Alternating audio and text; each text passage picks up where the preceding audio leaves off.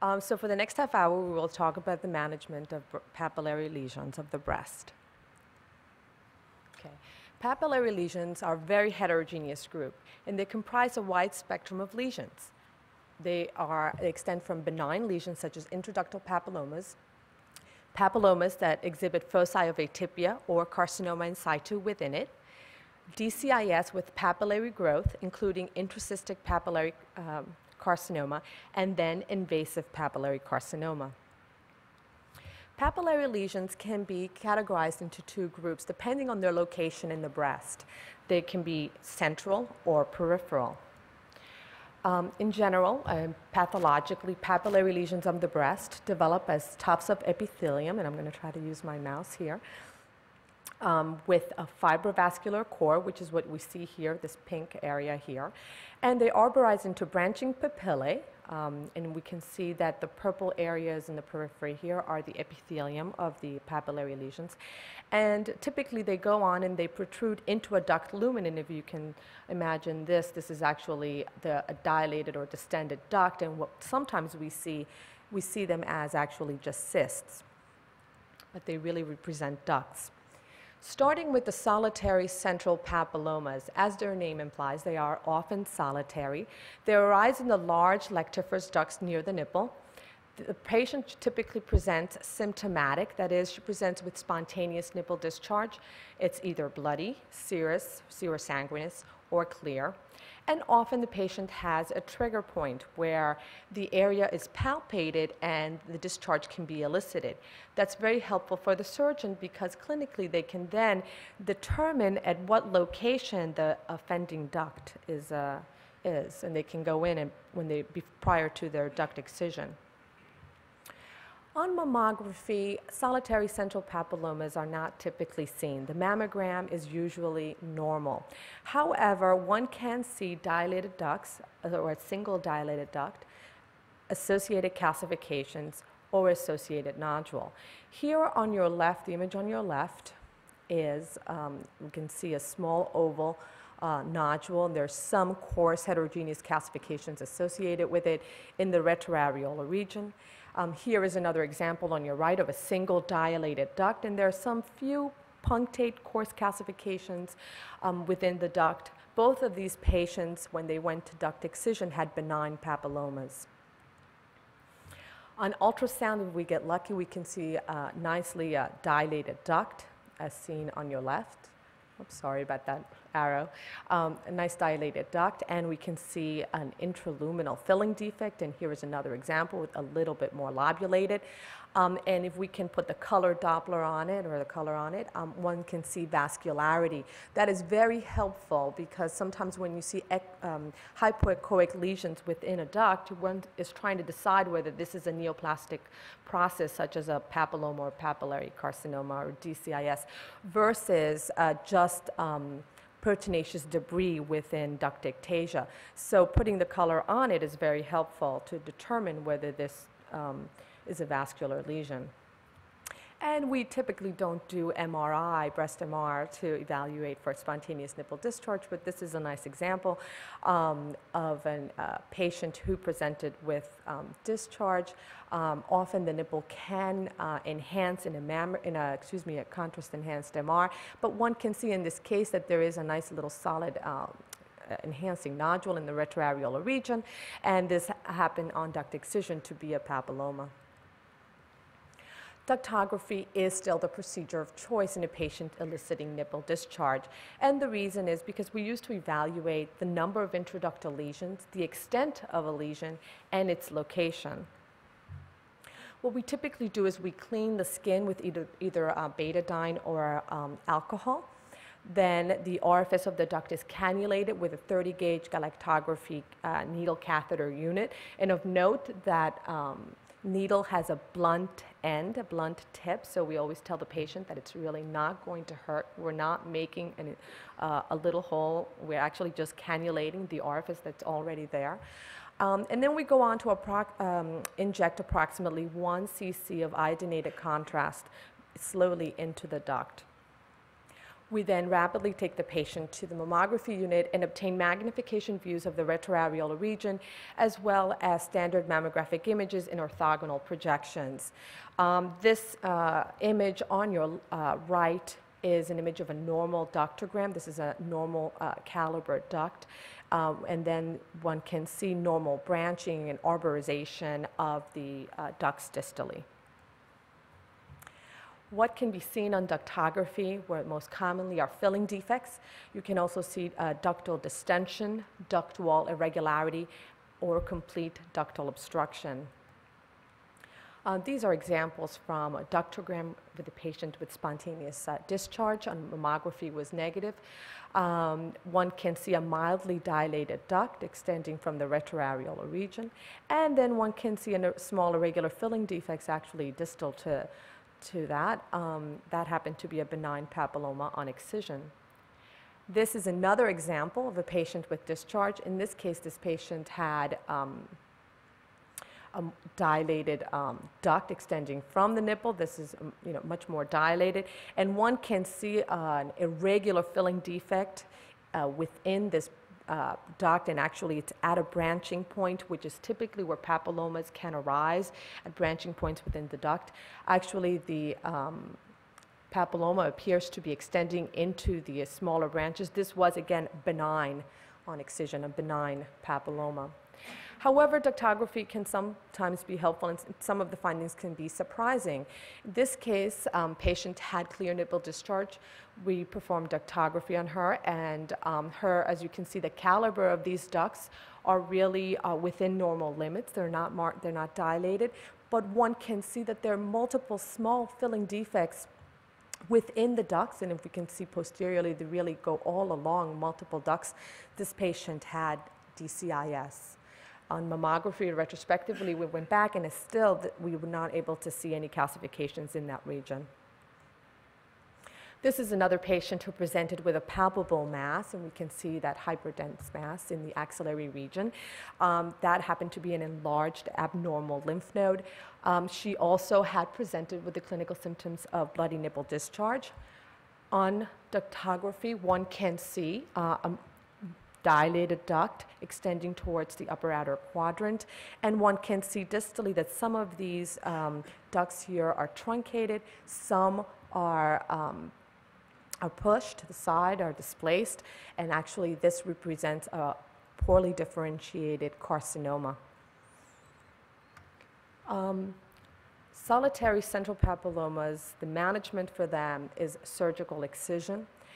Most of them are benign on histology, however, rarely, some of them can exhibit some foci of atypia or DCIS in the epithelial components, but that is uncommon. The real reason why they undergo duct excision is because the patient is symptomatic. They are presenting with spontaneous nipple discharge, and uh, most of the time the surgery is really treating the patient's symptoms.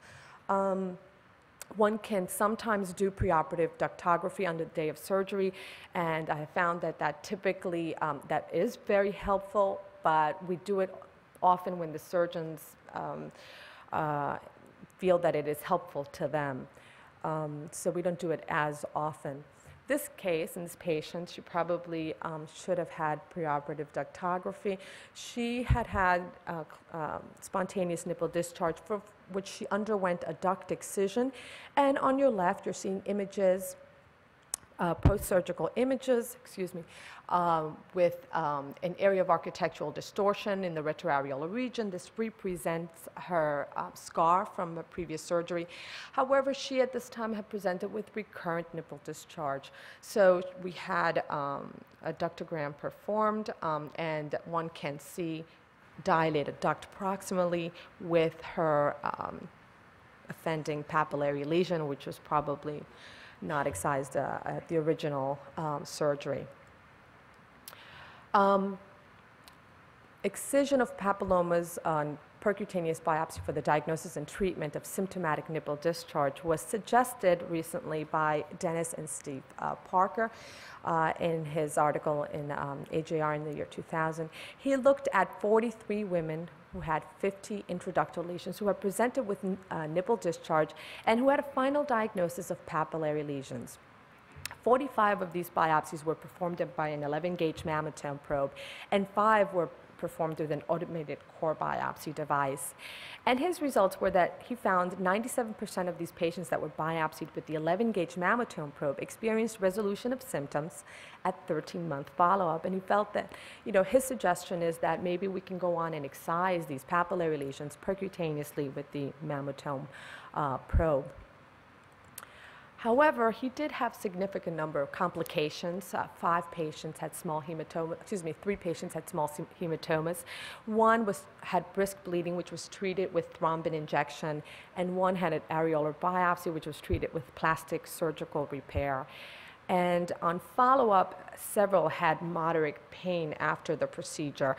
So, for those reasons, I think that people um, still feel that surgical excision is the way to go, and at our institution, this is the way we treat them. Moving on to multiple peripheral papillary lesions. As their name states, they are often multiple.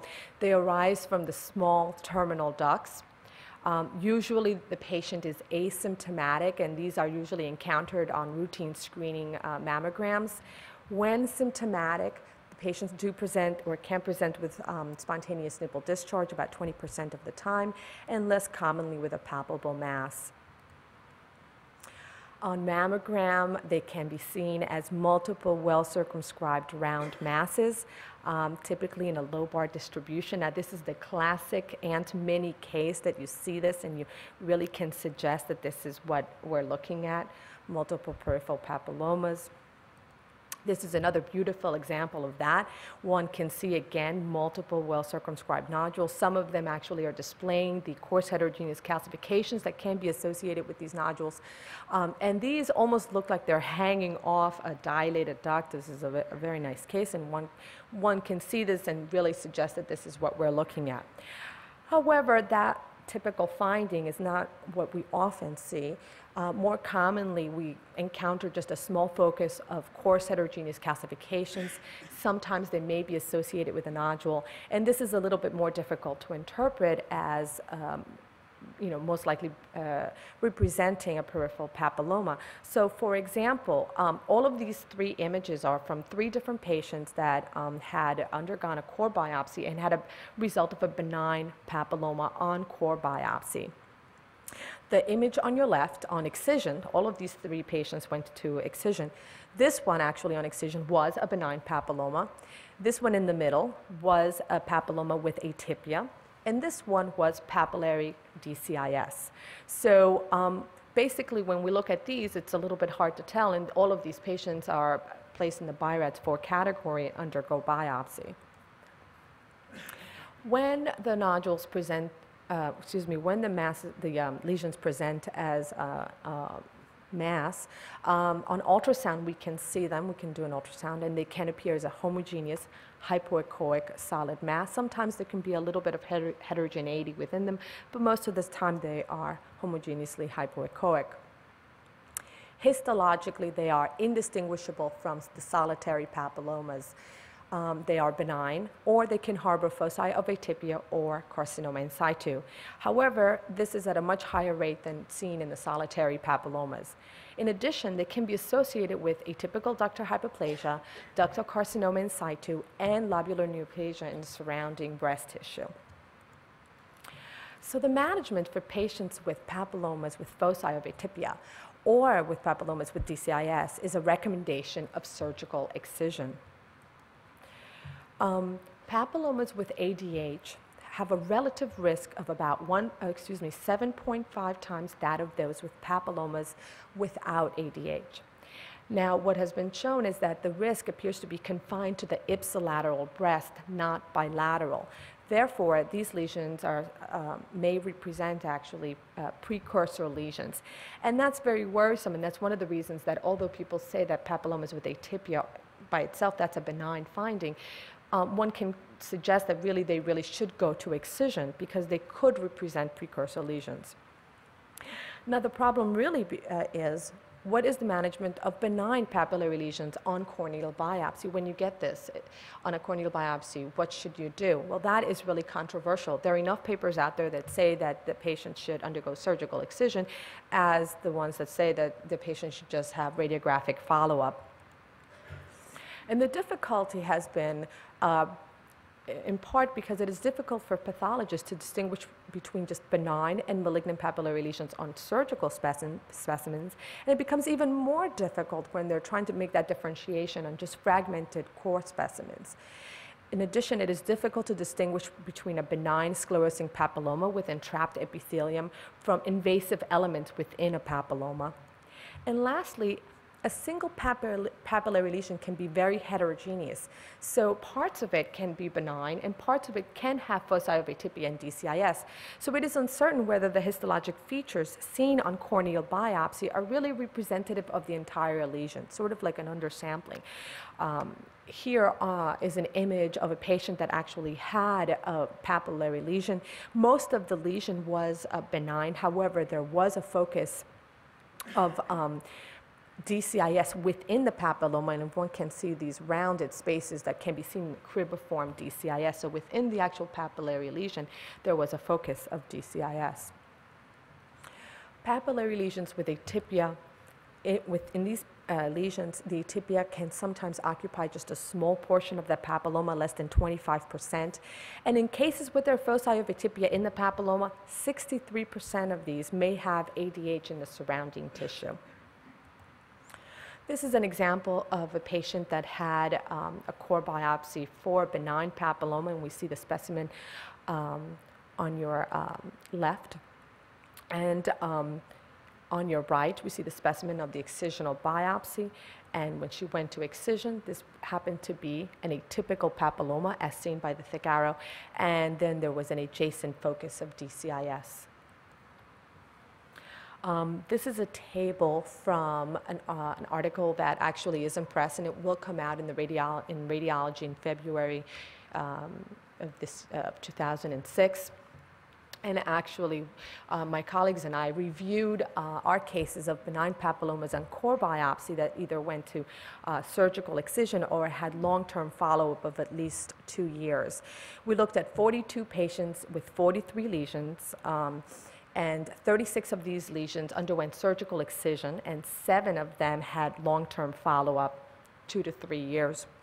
And this is a summary of those histologic and imaging findings at surgical excision for the 36 patients. So we look at these at excision, 14 of them were papilloma, were benign. Um, two were papillomatosis, which actually is not really in the papillary lesion category, it really represents uh, an extension of fibrocystic change. Um, eight were papilloma with ADH or atypia. Two really were papillary DCIS, and 10, no residual lesion was identified. And in these 10, um, there was evidence that a core biopsy had been performed. So we know that what was taken out was the area uh, where the biopsy had been or where the lesion had, had been. So significant is that two were DCIS and eight were papilloma with atypia on excision. That, that's a significant number. This is an estimate of the lesion upgrades to either ADH, DCIS, or ADH or DCIS. If we look at all our patients, the 42 patients, 17% were upgraded to ADH uh, 4.8% were upgraded to DCIS after the biopsy. And if we combine these, 21% were upgraded to ADH or DCIS. That's fairly high. And if we look at just the ones that were excised, at the 35 patients with the 36 lesions, the numbers are higher.